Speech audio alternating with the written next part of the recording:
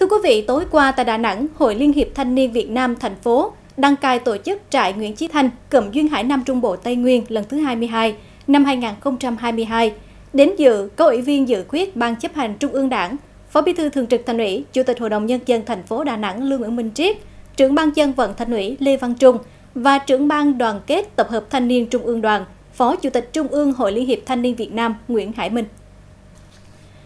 Trại Nguyễn Chí Thanh năm 2022 diễn ra từ ngày 27 tháng 11 đến ngày 2 tháng 12 năm 2022 tại Trường Đại học Công nghệ Thông tin và Truyền thông Việt Hàn với sự tham gia của 160 trại sinh đến từ 11 tỉnh thành phố cụm Duyên Hải Nam Trung Bộ, Tây Nguyên.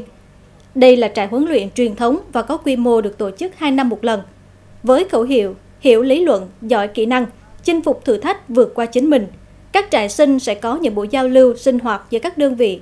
Cùng với đó sẽ tiến hành thi 35 nội dung, vừa lý thuyết vừa thực hành theo định chuẩn do Hội đồng huấn luyện Trung ương Hội Liên hiệp Thanh niên Việt Nam đề ra.